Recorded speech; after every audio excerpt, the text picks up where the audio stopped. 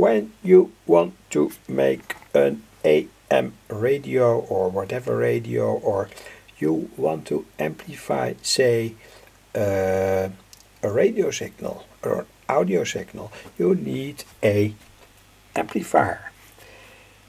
And here is uh, the kind of most basic amplifier that you can get made with two transistors the BD139 and the BD140 and of course on the World Wide Web you find for instance the LM386 but in many cases that LM386 uh, has only an output level of say approximately uh, 0.5 watts maximum. And in that case uh, in many cases that isn't enough. Not enough audio energy. So here is a radio circuit that can work very properly. Made with two series N transistors here and the circuit is in my book Retro Radio though I have to say that on page 65 I have indicated here two uh, diodes but uh, they will not match, they will not work. So the best thing is uh, to use here two normal silicon diodes. And when we are talking about normal silicon diodes, we talk about diodes, silicon diodes, classic silicon diodes, that have say a barrier voltage of approximately 0.7 volts. Here quite a bunch of them and when you want to do say a serious examination of all these diodes uh, you will surely find that the um, barrier voltage differs in say the 1.10 volts range. But in such a case for such an easy amplifier that is uh, no issue.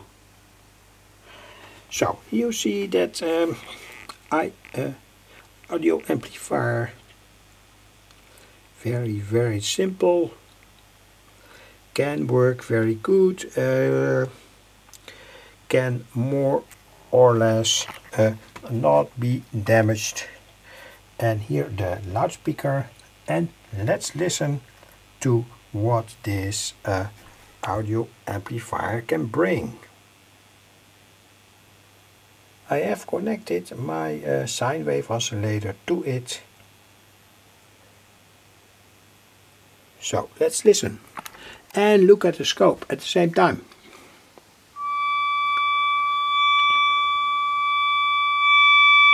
That's not bad. That's not a bad, say, uh, amplification. This is very pure regarding to the sine wave that is sent in. And that was a kind of overdrive of that amplifier. So let's go to another frequency. This is say approximately uh, 100 hertz. That's of course this amplifier can amplify 100 hertz but my loudspeaker here uh, is not able to reproduce that because of its electromechanical properties.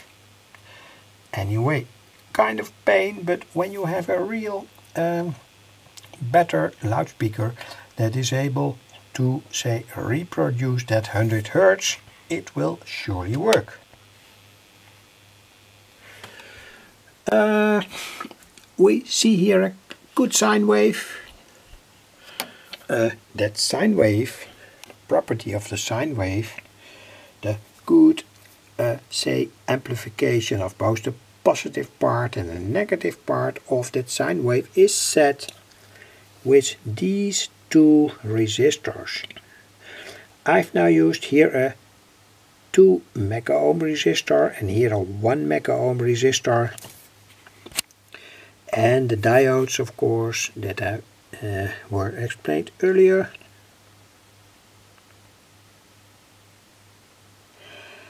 and uh, that means that we have a good amplification of the sine wave uh, when that sine wave is not, not properly amplified say uh, more energy in the say the positive part of the sine wave and less energy in the negative part of the sine wave uh, that's not visible here by the way you can change uh, the this resistor or that resistor so the 1 2M2 resistor here or the 1 mega ohm resistor here.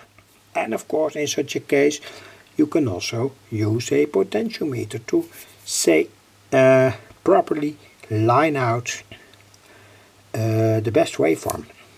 In that case use a 1k resistor uh, uh, because when you uh, move the wiper up to the most positive position and there is no say um, resistor there could be that the first transistor burns out immediately. And say uh, so you need here a protective resistor. Say of 1 kilo ohms. Anyway when you want to do experiments uh, the waveform is very good. Say on 100 hertz. We go now to higher frequencies.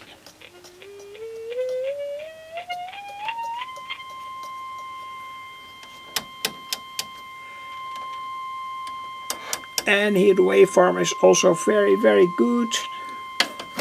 Now we go to the very high frequency in terms of audio. Uh, now we are on 11 kilo cycles. Well, uh, the scope gives a good view, but of course this very, very uh, simple um, loudspeaker is not able to reproduce 11 kilo cycles. Anyway, no problem with that. Uh, we use this uh, whole setup in an audio amplifier where say we don't need 11 kilocycles. So uh, the good thing proper waveform here and and you can hear on the background perhaps.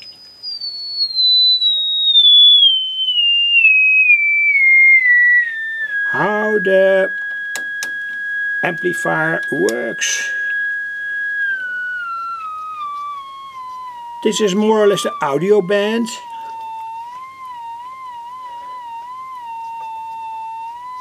And even somewhat lower, but anyway. And here we have the frequency band that say this amplifier is not able to reproduce.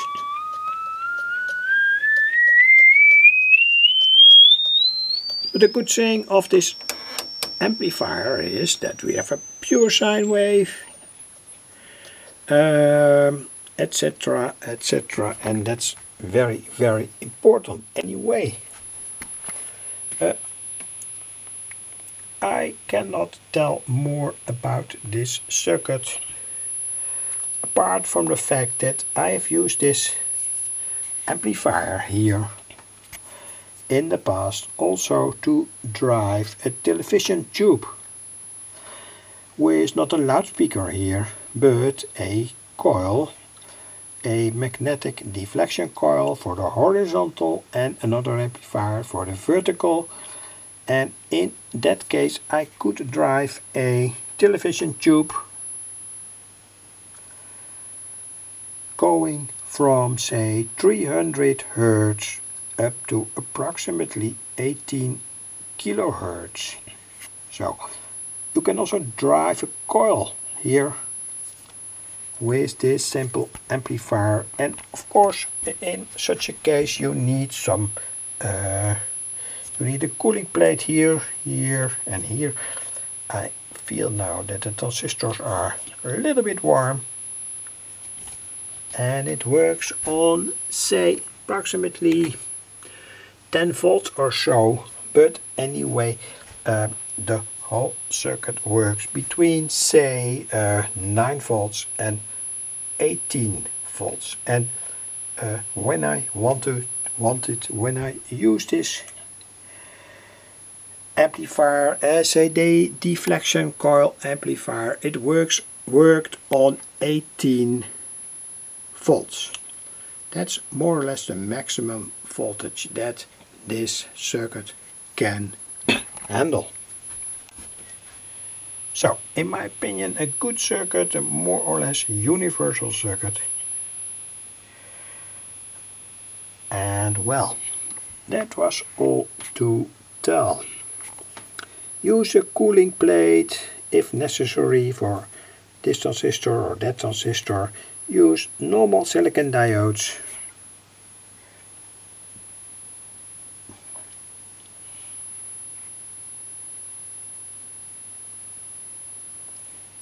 Etc.